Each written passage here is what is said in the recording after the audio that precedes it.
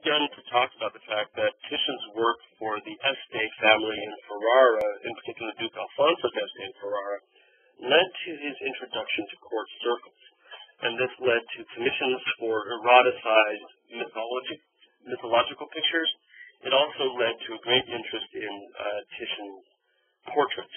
And this uh, screencast will look at those portraits um, that we discussed down at the National Gallery.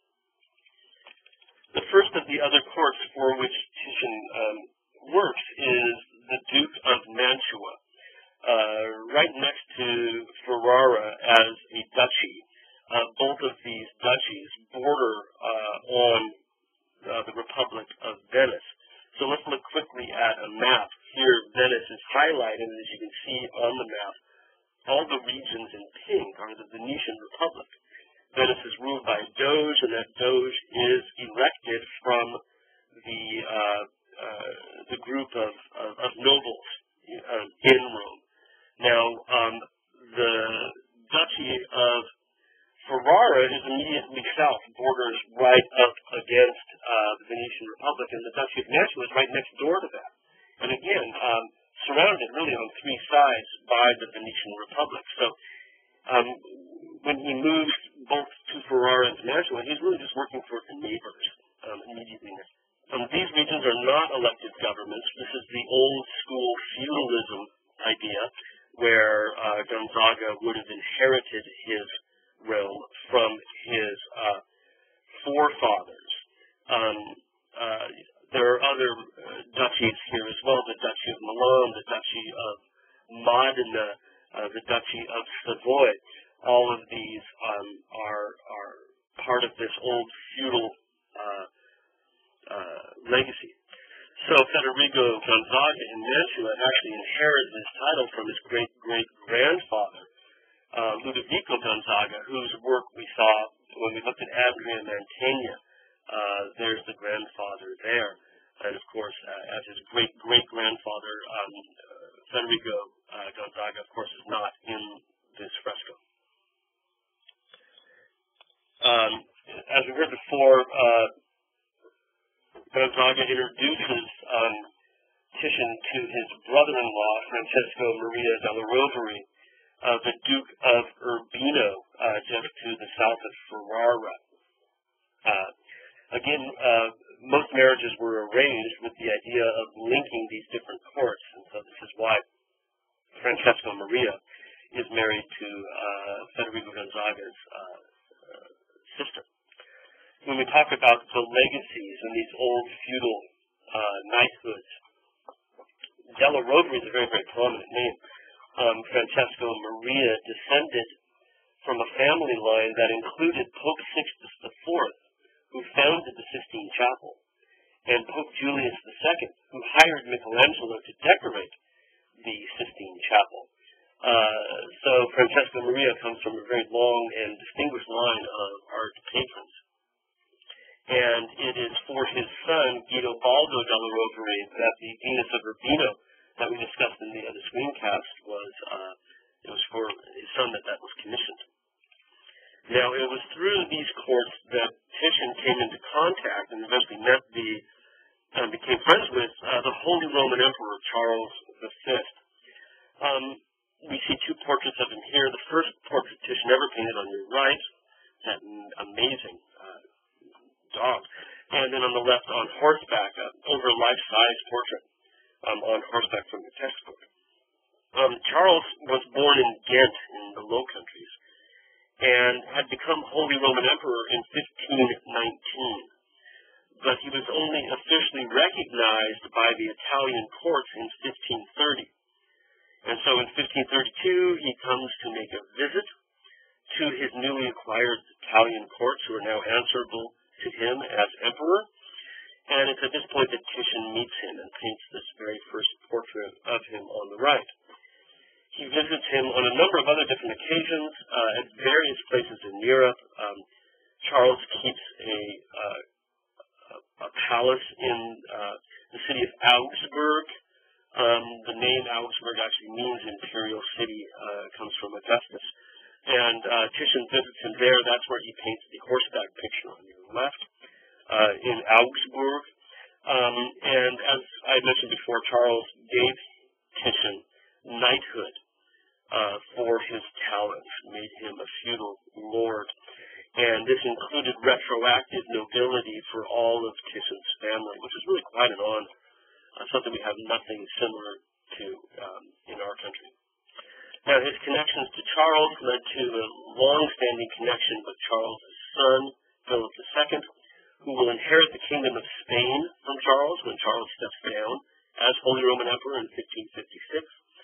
And it is Philip II who commissions from Titian a series of painted poetries that we discussed in the other screencast.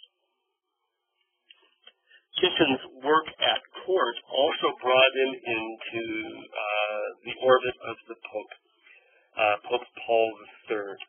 Um, he met the Pope when the Pope was visiting Venice in the 1540s, but his reputation had preceded him, and the Pope certainly sought out uh, Titian. Um, Titian then is invited to come to Rome uh, to paint the Pope on a couple of different occasions. Um, here we see Pope Paul III twice over.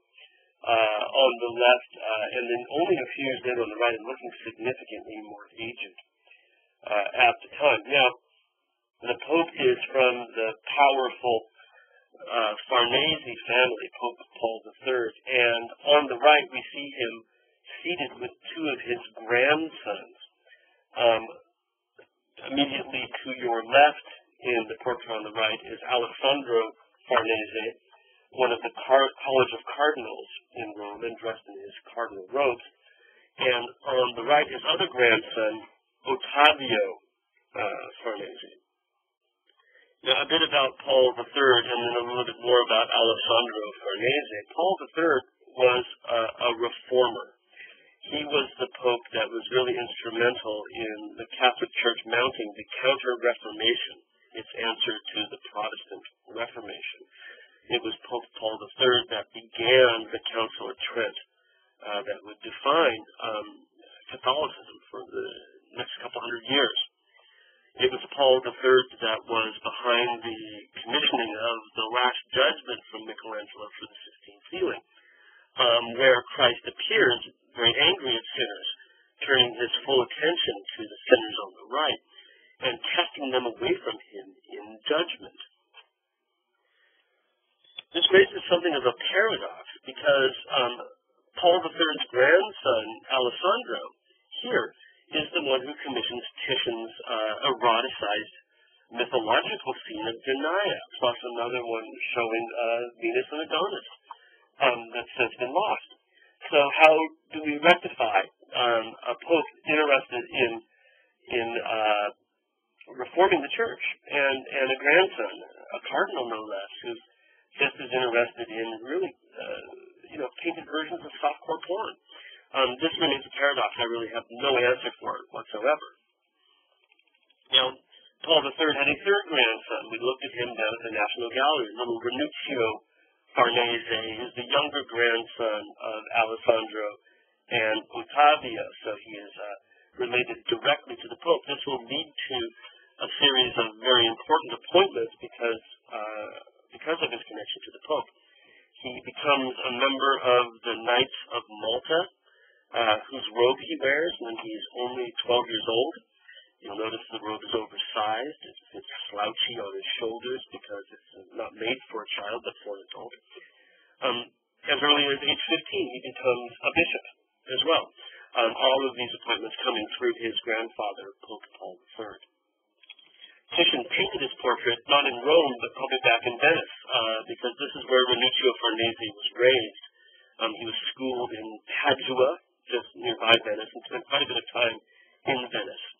And uh, the portrait that we're looking at, the one from the National Gallery, was actually commissioned by one of his guardians and educators to be given as a gift to his mother, the, the daughter of Paul III. Another church portrait that we saw down at the National Gallery is Pietro Bembo, um, another part of the papal circle, a member of the College of Cardinals in Rome, and you can see his costume is exactly identical to the one worn by Alessandro Farnese.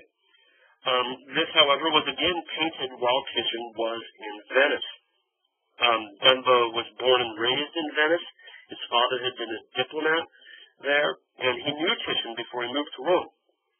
This portrait was painted between the time when he became cardinal in March of 1539 and his departure from Venice in October of that same year. And he probably took it with him to Rome uh, when he took on that new post. Now, it was Pietro's father, Bernardo, who was a very important uh, diplomat in Venice and a poet and an art patron as well. So Pietro's works may be, this work, this portrait may well be in rivalry uh, with his father. Uh, the works that were commissioned by his father, two of them are actually in the National Gallery just by coincidence. Um, our Leonardo da Vinci portrait of Ginevra de' Benci was actually commissioned by Pietro Bembo's father, Bernardo Bembo, to be given to Ginevra on the occasion of her wedding. And we know from records that he also owned this wonderful uh, devotional image of St. Veronica by the Netherlandish artist Hans Memling. So we have quite a few works related to the Bembo family. Uh, these from Bernardo, and of course now Titian's wonderful portrait of his son. We also at the National Gallery looked at this portrait of Vincenzo Cappello. Uh, there's quite a few versions of this, and again we've talked quite a bit, quite a number of times about Titian's uh, studio making uh, copies of, of works of art. And uh, there are actually three identical versions of Vincenzo Cappello and two more variations on the same portrait type. Uh, why all those copies would have been made is anyone's guess, but since he was a military leader, they may well have been made for people that uh, served under him. He was, um, as you might remember, the uh, uh the commander of the Venetian fleet. Um, each of the batons that we see is a uh, a memorial symbol for one of his tours of duty as the head of the uh, Venetian fleet. He eventually served five tours of duty, so this is after the third um, of the five. Now, the portrait itself seems to be based on earlier portraits that Titian had done. We mentioned there were copies of this one of Cappello, but the Cappello portrait itself seems based on a certain level uh, on a type that he had first rolled out for Emperor Charles V. Uh, this portrait is now lost, but here's a copy by Rubens um, from a half century later, where we see the same helmet on the shelf, uh, the man posed in armor, the same sort of color scheme as well um, for Emperor Charles V. After painting this portrait, I think uh, that inspired Titian to reuse it for others, and it certainly would have been welcome in anybody's uh, uh, collection to have a portrait modeled after uh, Titian's portrait of the Holy Roman Emperor. This is probably why uh, Francesco Maria della Rovere has a variation of the exact same pose.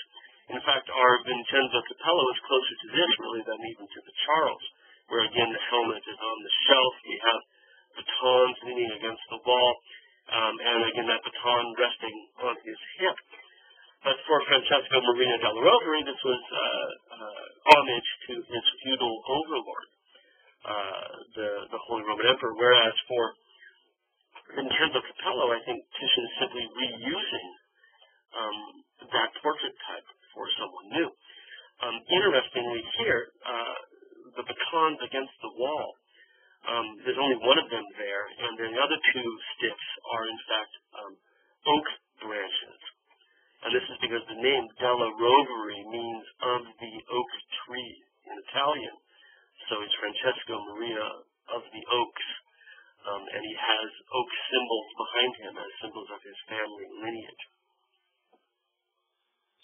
Now, finally, at the same time he was serving these different courts uh, throughout Europe, the Papal Court, the Holy Roman Imperial Court, uh, various others. He's also obviously the official painter to the city of Venice. This is why he did Vincenzo Cappello, the uh, the captain of the Venetian fleet, but also hired to paint portraits of the different doges. Uh, usually on their election, he would paint a portrait of them uh, when elected. Our portrait, however, is a posthumous portrait. Uh, Andrea Gritti had died in 1538. And so in order to paint this, as we talked about downtown, he turned to did earlier portraits of Andrea Gritti, including some that came from his own shop. So here you can see the face is based directly on this, maybe made to look a little bit older. But you'll notice uh, that the body turning is, is, is in the original uh, turned the same direction as the face. And Titian in the posthumous portrait has enlivened that by making him face one direction and march the opposite way. Still, in each of them, you can see that, that famous verse um, that Andrea Gritti has